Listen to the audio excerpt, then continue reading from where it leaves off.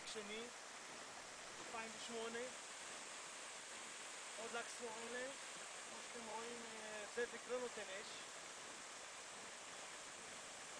חתיכה יפה, חתיכה יפה. חתיכה יפה. רגע, זאביק, אני רוצה תמונה, רגע, רגע.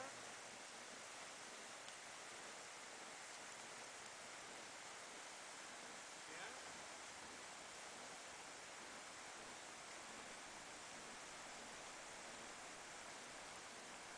תכניס את האצבע לזימים. ברח לי?